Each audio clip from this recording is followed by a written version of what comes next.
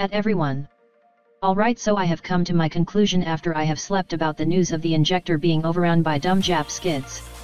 First off I'd like to say thank you to the people who actually use the injector correctly and know how to use it correctly.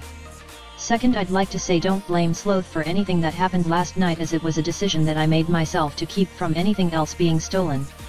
It's sad that people have to take something that is free and try to make it their own. Sloth will also be removing himself from development of the Minecraft Wii U mod injector. Now to the real announcement I will be re-releasing the injector but the injector will be paid and not free. And I'll be honest that is what my plan was from the start but Sloth changed that. I will be controlling everything that happens with license keys and I don't care who is doing what if you are breaching the TOS you will be removed from the injector no ifs ands or buts about it. The injector will be announced whenever I get it done. Price, $5.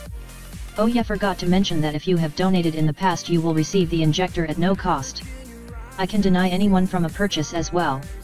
You must have proof of purchasing to claim your free injector on release.